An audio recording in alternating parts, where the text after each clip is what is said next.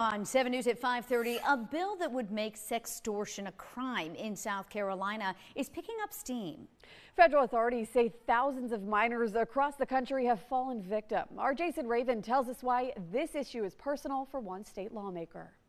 Earlier this week, a panel of House lawmakers advanced H 3583. The legislation currently has more than 50 co sponsors in the House. I wasn't even aware that um, this was an issue. The bill's main sponsor, Representative Brandon Guffey of York County, says his son Gavin died by suicide last July. A few days after his death, they found out someone online was extorting him after he sent intimate photos to them. The symbol that I wear, if you can see it, the less than three symbol, is what my son sent out before he took his life to his friends on a black screen.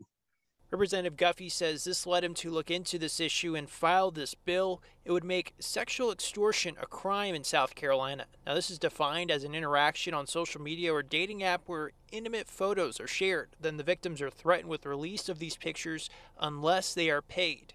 And this is not typically a single individual that is targeting your child.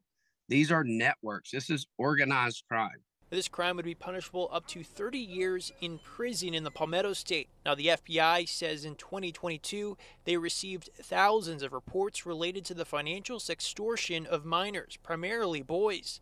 Federal authorities say a large percentage of these schemes originated outside of the U.S. Guffey says his goal is to raise awareness about the issue.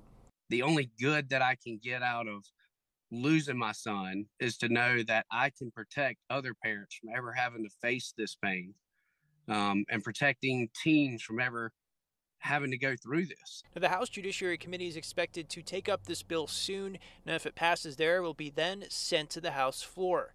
In Columbia, Jason Raven, 7 News. If you or someone you know have suicidal thoughts, call the National Suicide Prevention Lifeline at 988.